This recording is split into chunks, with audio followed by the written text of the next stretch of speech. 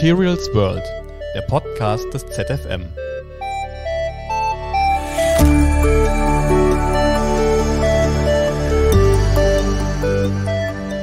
Mein Name ist Peter Klar. Mich interessiert alles, was klein ist und auch kleine Dinge wie kleine Satelliten und auch kleine Satellitenantriebe.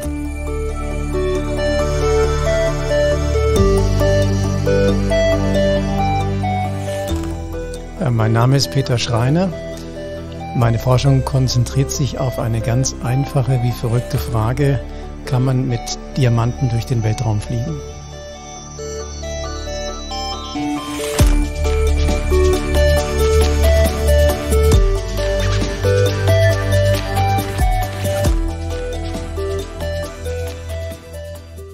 Hallo und willkommen zum Podcast Materials World, der Podcast des ZFM.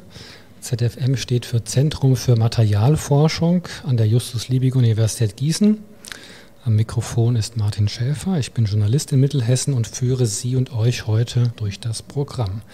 In dieser Folge wollen wir zwei Themen zusammenbringen, nämlich die Forschung vom Ursprung des Lebens. Dafür steht Professor Peter Schreiner aus der organischen Chemie der JLU sowie die Weltraumforschung, die Professor Peter Klar in der Physik der JLU betreibt. Wir hatten jetzt kurz davor schon richtig ziemlich viel Spaß, weil nämlich beide Forscher was mitbringen sollten, nämlich ein Geräusch, was ihre Forschung charakterisiert. Und das scheint jetzt relativ äh, ziemlich spannend zu werden. Deswegen vielleicht erstmal an Herrn Klar. Was haben Sie uns denn mitgebracht für diesen Podcast? Das hören Sie jetzt gleich.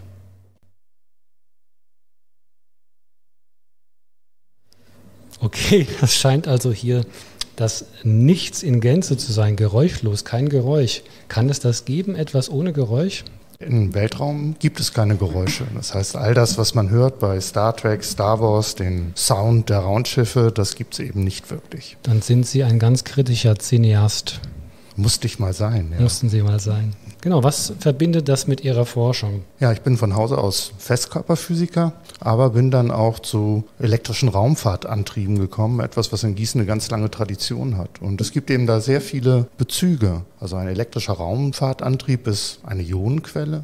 In einer Ionenquelle wird ein Plasma erzeugt, das heißt von neutralen Atomen die man als Treibstoff dort einlässt in die Plasmakammer, werden Elektronen weggenommen, so dass man eben dann geladene Teilchen in dem Plasma hat, nämlich die positiv geladenen Ionen und die Elektronen. Und diese Ionen, die werden dann extrahiert und von der Ionenquelle wegbeschleunigt. Und das ist so, wie wenn man etwas wegwirft. Das ist dann die Impulserhaltung, insbesondere das dritte Newtonsche Axiom, Aktio gleich Reaktio. Dann kriegt man einen Rückstoß. Entschuldigung, das heißt im Weltraum, da ist zunächst mal nichts, da sind keine Geräusche, aber auch sonst nichts, keine Materie, aber der Antrieb funktioniert trotzdem. Der Antrieb funktioniert trotzdem, der Raum, man ist eigentlich vom Vakuum umgeben. Im Prinzip ist da kein Medium, was den Schall transportieren kann. Deswegen ist Raumfahrt eigentlich, wenn man erstmal im Weltraum ist, geräuschlos. Gehen wir mal zu Ihnen, Herr Schreiner. Was haben Sie uns als Geräusch mitgebracht? Ja, ich habe etwas mitgebracht aus meiner Kindheit. Äh, ich darf es kurz vorspielen. Das soll es gewesen sein. Wer das erkennt, der ist mindestens etwa 50 Jahre alt. Und es ist das Geräusch, was mich verbunden hat mit Raumschiff Enterprise, äh, meiner mhm. Lieblingsserie, damals wie heute. Und äh, einfach aus dem Grunde, weil man da äh, neue Dinge entdecken kann. Und das ist ja im Herzen der Naturwissenschaften. Naturgesetze aufklären, ähm, kennenlernen, was stabil ist in ungewöhnlichen Umgebungen, wie diesem Vakuum, das Peter Klar gerade beschrieben hat, was da so alles rumfliegt und wie man denn neue Welten erkunden kann und wie Leben dort draußen denn aussehen könnte, jenseits dessen, was wir auf der Erde kennen. Und erkunden Sie neue Welten im großen Kosmos oder im kleinen Detail der Atome, der Moleküle? Ja, das war anfangs nicht klar. Letztlich aber bin ich dann auf die äh, Moleküle gekommen, weil die ein bisschen greifbarer schienen als äh, der Kosmos, der dann doch ähm, in seiner Unendlichkeit schwer zu erfassen ist. Und dann waren es die konkreten Moleküle, die ich mir ansehen wollte und die Frage stellen wollte, wie kann es sein, dass aus Sternenstaub dann plötzlich Leben entsteht? Was passiert da zwischendurch?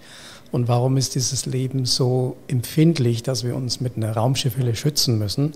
Kann es denn, äh, denn auch andere, anderswo existieren, auf anderen Welten und wie sind die beschaffen? Und das Interessante dabei ist natürlich, dass man als Prämisse weiß, dass die Elemente des Lebens äh, für das ganze Universum gleich sein müssen. Es gibt also sicherlich keine anderen Elemente als die 92 stabilen, die wir kennen. Das heißt, mit diesem Sternenstaub, dem Alphabet des, des Chemikers, dem Periodensystem muss alles Leben entstehen. Und dann darf man fragen, wie kann das gehen und äh, wie kann man das vielleicht äh, besser verstehen und auch zum Beispiel anders leben als das menschliche ergründen. Mhm.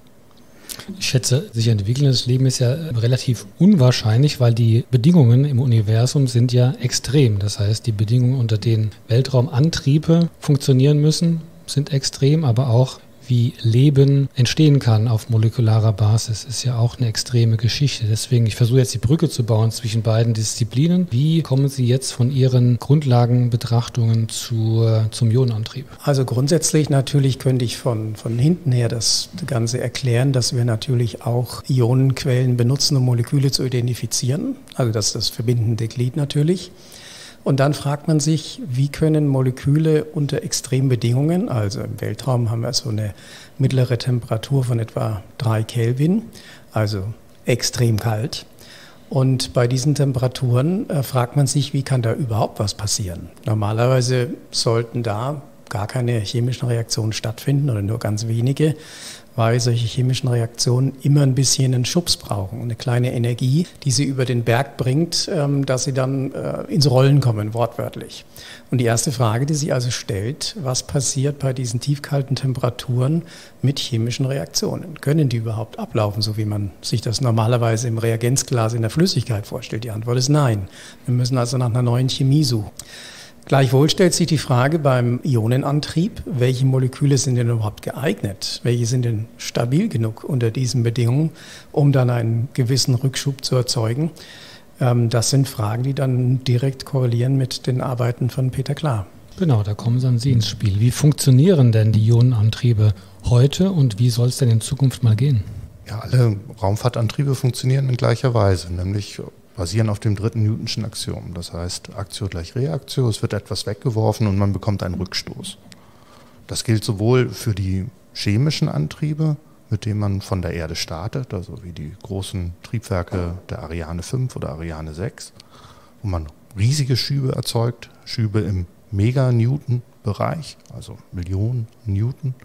Ein Newton ähm, ist eben die Einheit der Kraft. Die Gewichtskraft von einem Kilogramm sind 10 Newton und eben auch dann im Weltraum selber, wo man dann diese elektrischen Antriebe nutzt, wo man aus einem Plasma, also einem, das man erzeugt hat, in einem Gefäß, also geladene Atome und Elektronen, die Atome extrahiert und wegbeschleunigt. Und diese wegbeschleunigten Atome tragen eben Masse weg und Masse mal Geschwindigkeit ist der Impuls. Und der Impuls bestimmt letztendlich den Schub. Und es ist eben so, dass in diesem Impuls Masse mal Geschwindigkeit drin steckt und die Geschwindigkeiten, die man bei Ionentriebwerken erzielen kann, eben Faktor 10 größer sind als bei den chemischen Antrieben. Und deshalb kann man eben mit so einem kleinen Ionentriebwerk mit der gleichen Masse den zehnfachen Schub erzeugen.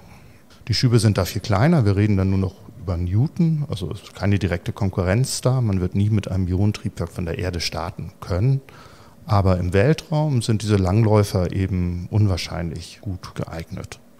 Naja, alles, was man im Weltraum nutzt an Materialien, muss eben auch mit den harschen Bedingungen dort zurechtkommen, mit diesen extremen Bedingungen. Den tiefen Temperaturen einerseits, aber auch wenn man ähm, exploriert im Weltraum Richtung Sonne fliegt, zu den ähm, sonnennäheren Planeten, dann kommt man natürlich auch sehr schnell zu sehr hohen Temperaturen oder auch in chemisch aggressive Atmosphären.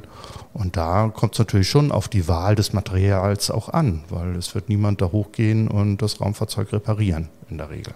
Ja, das heißt, Materialwissenschaft und Hochleistungsmaterialien sind immens wichtig für die Raumfahrt. Sie suchen ja am Zentrum für Materialforschung nach dem, ich sage mal, idealen Treibstoff oder dem perfekten Treibstoff. Derzeit sind ja schwere Atome wie Xenon oder andere en vogue. Das verbinden Sie auch mit dem Begriff der Nachhaltigkeit, denn Xenon ist knapp, mitunter vielleicht auch teuer. Ja, Xenon ist ein guter Treibstoff für Ionentriebwerke, weil es eben eine große Masse hat. Es geht mit relativ wenig Energieaufwand zu ionisieren und es ist eben auch noch inert, also nicht chemisch aktiv und reagiert nicht mit der Umgebung. Das macht es zu einem guten Treibstoff erstmal. Aber das ganze Xenon, was man benutzt, kommt eben aus der Luftverflüssigung und da ist nicht so viel Xenon drin. Das heißt, die Vorräte auf der Erde sind eigentlich knapp. Und im Moment sind die elektrischen Raumfahrtantriebe wirklich en vogue und stark im Kommen, werden viel stärker genutzt und die Preise für Xenon steigen. Also man ist jetzt sowas bei 1000 Euro pro Kilogramm, so mhm. um den Dreh. Was man aber braucht für so einen Satellit sind mehrere hundert Kilogramm, wenn man den in den geostationären Orbit bringen will und dort betreiben will. Und das geht natürlich dann ins Geld. Und die Preise werden eher steigen als fallen. Deswegen sucht man eben nach Ersatz. Und wenn man in das periodische System, was der Peter Schreiner schon erwähnt hat, reinschaut und diese 92 vielleicht geeigneten Elemente durchgeht, dann wird man finden, na so richtig, der Knaller ist nicht dabei. Das heißt, man kann dann einen Schritt weitergehen und sagen, ob man nicht aus diesen Atomen was anderes zusammensetzen kann, was vielleicht besser geeignet ist und ähnliche Eigenschaften hat. Und das war unsere Motivation eigentlich. Warum nicht Moleküle nehmen statt der Atome und die dann zu optimieren? Das hat mich natürlich gleich irritiert. Für mich sind Moleküle irgendwie zerbrechlich, also nicht so stabil wie jetzt ein festes Atom. Täusche ich mich da? Ja, grundsätzlich zerbrechlich dann, wenn die Temperaturen zu hoch werden, dann fliegen die gerne auseinander. Man kann die Frage umgekehrt stellen, welche Moleküle sind denn besonders stabil? Mhm. Und das sind unter den Bedingungen, die wir kennen, äh, ist es natürlich Graphit. Das ist aber kein Einzelmolekül. Das ist ein Schichtmaterial aus äh, Graphen als Einzelmolekül. Und wenn ich so ein einzelnes Graphen nehme, dann ist das schon wahnsinnig stabil, aber lange nicht so stabil wie ein anderes Molekül und das ist ein Diamant. Diamant ist deshalb natürlich tief in der Erde äh, und kommt dann auch manchmal an die Oberfläche, damit es ein Schmuckstein wird, weil er so stabil ist. Wir sagen, dass der ist wärmestabil, thermodynamisch stabil. Und Peter Klar und ich haben uns genau diese Frage gestellt. Ja, wenn es denn diese stabilen Moleküle gibt, dann äh, warum kann man die nicht nehmen für einen Antrieb? Ja, das, das heißt, Sie sagen Diamant als Treibstoff. Ja. Hört sich kostspielig an. Hört sich kostspielig und sehr verrückt an. Jetzt muss man dazu wissen, dass es natürlich verschieden große Diamanten gibt. Die am Finger, das sind natürlich die wirklich ganz tollen, die haben wir alle gern. Aber als Chemiker muss man da kleinere Brötchen backen und diese kleinen Brötchen heißt, man guckt, was im Erdöl drin ist. Und das ist in der Tat so, dass in Erdöl und Erdgas sind klitzekleine Diamanten drin. Wir nennen die auch Nanodiamanten oder Diamantoide, also die Diamantähnlichen. Und das sind von der chemischen Struktur Moleküle, die genau den Diamant darstellen, nur viel weniger Atome haben, deswegen viel kleiner sind und sich deshalb lösen in Erdöl und Erdgas. Die können wir von da aus extrahieren und damit Chemie betreiben, was einen ganz großen Vorteil darstellt, denn jetzt können wir im Gegensatz zu einem Element, wie es das Xenon ist, einem Atom, daran kann ich wenig basteln, außer Elektronen rauswerfen, kann ich bei einem Molekül äh, die Eigenschaften durch chemische Synthese ändern. Mhm. Das heißt, ich kann es größer machen, ich kann ähm, seine elektrochemischen, seine photophysikalischen, seine physikalischen Eigenschaften stark verändern, indem ich das als Chemiker bearbeite. Was hat denn Xenon im Vergleich zu Kohlenstoff und mehreren Kohlenstoffatomen? Also was hat das für eine Massezahl, dass man das ins Verhältnis setzt? Man kann das genau anpassen. Man kann ja. auf die genau gleiche Massezahl kommen. Mhm. Also eigentlich möchte man, wenn man die, die physikalischen Gleichungen anguckt, möchte man dahin kommen, dass man möglichst schwere Einheiten hat, die man wegwirft oder im elektrischen Feld beschleunigt. Je schwerer das ist, desto schwerer ist es eben dann auch in die Gasphase zu bringen, was man im Plasma eben braucht, um das Plasma zu erzeugen. Deswegen ist so Xenon-ähnliche Masse schon sehr mhm. gut. Das heißt, wie viele Kohlenstoffatome sind das? Also wie groß ist denn das Kohlenstoffpäckchen oder der Cluster oder der Diamantoid? Also wir haben eine Masse von 136 Gramm pro Mol. Das ist also in der Größenordnung von Xenon. Das ist für einen kleinen Diamanten den kleinsten, den es gibt, dem Adamantan. Das sind äh, 10 Kohlenstoffatome und 16 Wasserstoffatome. Und der Trick hierbei ist, dieses Molekül, wie auch seine nächstgrößeren, ist kugelförmig. Das heißt, wenn ich mir die so schematisch nebeneinander vorstelle, ein Atom eine Kugel und ein Molekül mit seiner Elektronenwolke auch ungefähr eine Kugel. Das heißt, von den Eigenschaften von der Seite aus gesehen ist es schon mal geeignet. Das Wesentliche ist natürlich die thermische Stabilität. Aber ähm, mit zunehmender Masse, wir können das natürlich immer schwerer machen, dann hört es auch auf zu fliegen. Mhm. Ja, das Antriebsgas, kann man sich ja vorstellen, muss auch irgendwie in die Gasphase kommen und von dort aus dann über den Injektor natürlich ionisiert und ausgestoßen werden. Und ich kann natürlich nicht leicht Steine zum Fliegen bringen. Das heißt, die können nicht unendlich groß werden. Und das können wir aber alles einstellen. Also die Form, die Stabilität, die äh, Vergasungsmöglichkeit und so weiter. Eine kuriose Frage an Sie, Herr Klar. Jedes Treibstoffmolekül muss sich ja in den Orbit mitnehmen. Gibt es da eine Lösung? Oder wäre das Zauberei? Nö, man, also es gibt verschiedene Ansätze. Also klar, man muss alles mitnehmen zunächst mal in einem Tank. Und da sind natürlich die Adamantan hatte auch große Vorteile, weil das als Feststoff vorliegt und dann eben direkt in die Gasphase geht, wenn man es erhitzt. Das ist also ein Riesenvorteil. Beim Xenon muss man das als Gas mitnehmen. Da hat man dann große Druckgefäße, die man auf den Satelliten schnallen muss. Und da sind natürlich feste Treibstoffe, die man leicht in die Gasphase bringen kann, dann auch wieder von Vorteil. Gerade wenn man zu noch kleineren Satelliten geht, was im Moment angestrebt wird. Eine andere Möglichkeit, die ganz pfiffig ist, die auch viel mit Materialwissenschaft zu tun hat, ist, dass für Satelliten, die jetzt in erdnahen Orbits fliegen, wo es eben noch eine Restatmosphäre gibt, dass man aus der Atmosphäre wieder auftankt. Aber dann ist man natürlich an die Moleküle gebunden, die dort in der Atmosphäre vorkommen. Das sind dann hauptsächlich Stickstoff und Sauerstoff. Und das funktioniert? Also nur als Gedankenspiel oder auch im Gerät? Es funktioniert noch nicht ganz, aber mhm. viele Leute forschen daran. Mhm. Ein bisschen ist die Schwierigkeit, dass die Atmosphäre dort natürlich auch relativ dünn ist. Man muss das Ganze dann erstmal hochkomprimieren, so dass man so genug Treibstoffe auch hat, um den dann hinterher wieder nachzubeschleunigen. Aber prinzipiell geht das. Man kämpft noch ein bisschen mit technischen Schwierigkeiten, aber auf dem Blatt Papier kriegt man das hin. Wir sind am Zentrum für Materialforschung. Jetzt würde mich noch interessieren, wie Sie zusammenarbeiten, wie Ihre Arbeitsaufteilung ausschaut. Wer also was jetzt in der Kollaboration organische Chemie mit Nanodiamanten und angewandte Physik mit Ionentriebwerken, wie das funktioniert. Ich fange vielleicht mal damit an, mit dem Problem, was man mhm. hat. Wenn wir einen neuen Treibstoff testen in einem Triebwerk, dann müssen wir die ganze Infrastruktur um das Triebwerk neu aufbauen. Das heißt, die Tanks, das Zuleitungssystem, das, das Heizsystem, um eben den Stoff in die Gasphase zu bringen, die Zuleitung. Wir müssen das dann testen. Wir haben alles in dem gleichen Gefäß, im Plasmagefäß, wo die Moleküle dann doch noch zerfallen können. Und das macht es eben auch schwer zu analysieren. Und wir brauchen eben eine gewisse Menge an Treibstoff. Das heißt, einen neuen Treibstoff zu testen auf die klassische Art und Weise direkt im Triebwerk ist sehr zeitaufwendig und auch kostenintensiv. Das heißt, wie viel Zeit brauchen Sie da? Ja, ich würde sagen, ein, zwei, drei Monate dauert mhm. das schon, bis man alles aufgebaut hat und dann auch in Betrieb genommen hat und testen kann. Und da wollen wir eben eine Abkürzung finden. Und natürlich ist es auch für den Chemiker, der die Treibstoffe synthetisiert, erstmal sinnvoll, kleine Mengen zu synthetisieren und nicht gleich im Kilogrammmaßstab. Und wir können, haben eben etwas aufgebaut, womit wir jetzt auch kleine Mengen untersuchen können.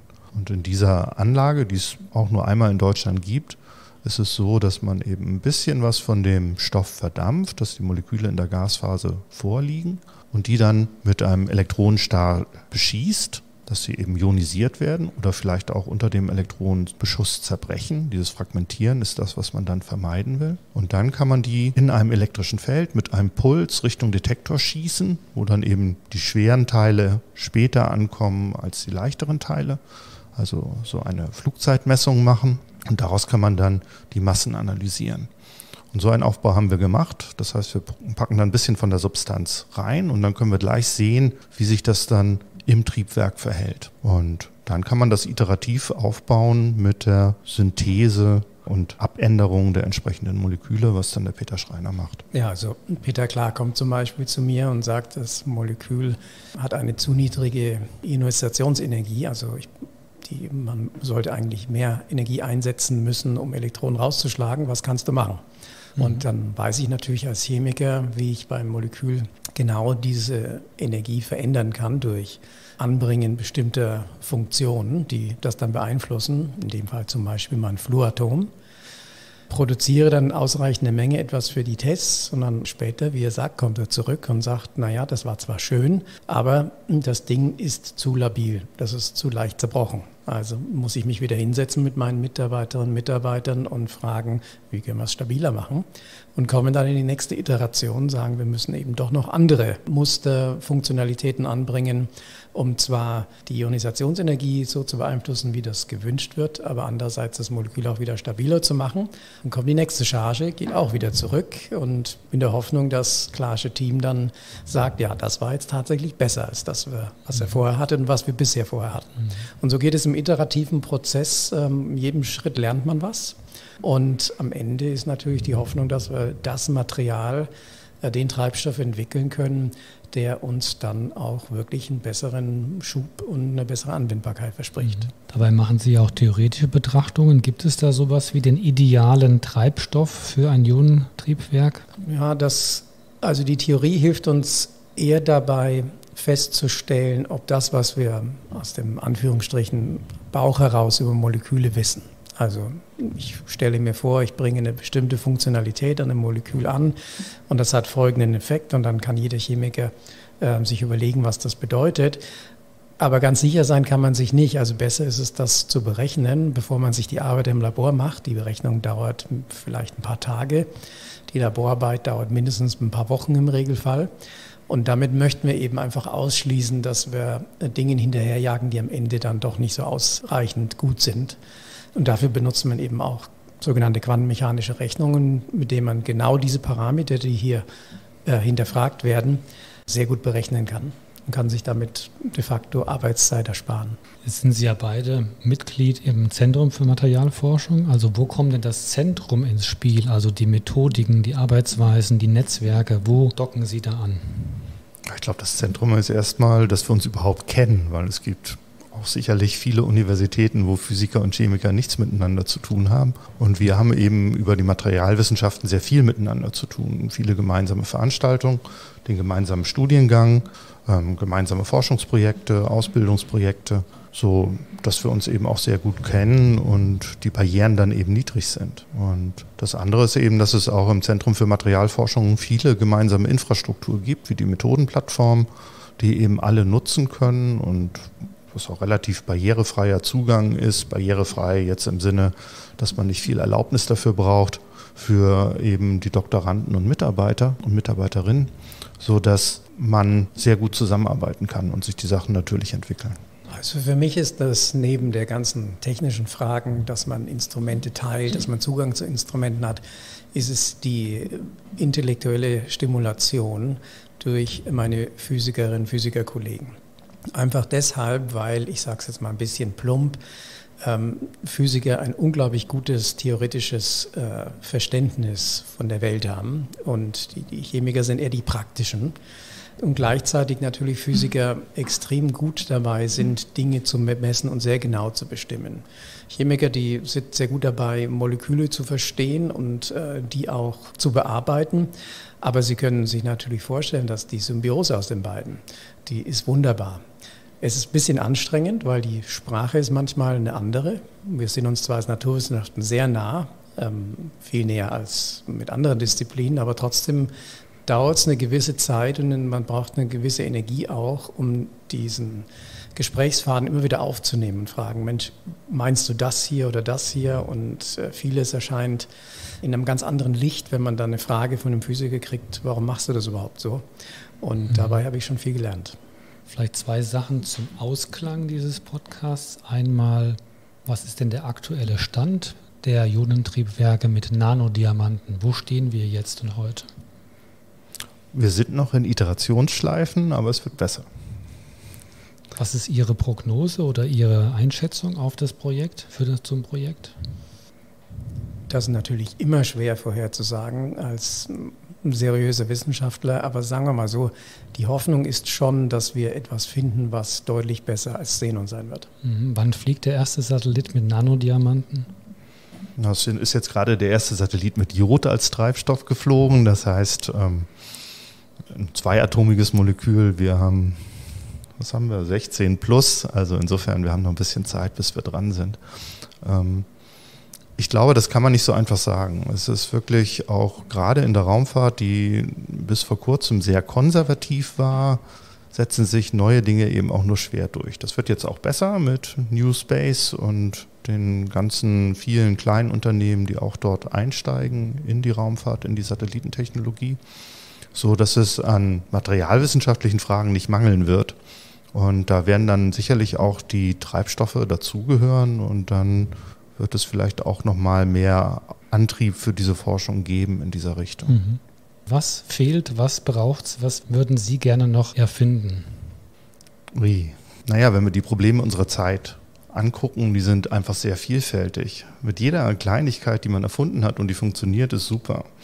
Meine, die großen Dinge sollte man sich vielleicht gar nicht vornehmen. Bei mir wäre es, glaube ich, eher was Kleines, irgendwas, was das Leben besser macht. Ja, ist jetzt die Frage, ob ich diese Frage seriös beantworten soll als Wissenschaftler oder als ein bisschen Träumer. Also wenn ich träumen dürfte, dann wäre es natürlich eine Zeitmaschine nicht um die äh, auszunutzen in irgendeiner negativen Art und Weise, sondern einfach um zurückzufliegen in eine Zeit, äh, als Beethoven die Neunte geschrieben hat äh, und die erstmal zu hören, äh, solche Dinge.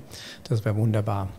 Auf der eher seriösen Ebene, ich muss da bei den Leisten bleiben, die Peter Klar ja auch schon einge äh, hat. Was Kleines wäre wär schon ziemlich gut, was ein großer Schritt für uns wäre. Die noch bessere Nutzung von Sonnenlicht für Energiefragen. Ja, letztlich müssen wir in der einen oder Art und Weise die Sonne nutzen für unsere Energieprobleme. Ein paar gute Prozent mehr in der Solarenergienutzung würde schon einen unglaublichen Sprung bedeuten. Und das ist nicht unrealistisch, dass wir da deutlich besser werden. Okay, vielen Dank. Die Forschung geht also spannend weiter und nimmt immer neue faszinierende Wendungen, insbesondere etwa dann, wenn verschiedene Disziplinen, etwa von Chemie und Physik, sich in den Materialwissenschaften treffen und Neues entsteht. Damit sind wir auch wieder beim Podcast-Projekt. Ihr hört den Podcast Materials World. Der Podcast ist ZFM.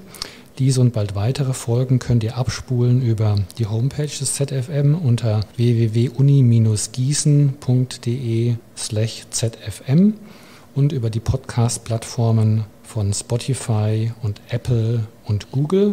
Natürlich sind wir interessiert an euren Kommentaren, Feedback und Rückmeldungen gern an die E-Mail-Adresse info at lama.uni-gießen.de. So danke ich fürs Zuhören und dranbleiben. An den Mikrofonen verabschieden sich Martin Schäfer, Peter Schreiner, Peter Klar. Und an der Technik, also am Mischpult, Thomas Leichtweiß. Vielen Dank und tschüss. Tschüss.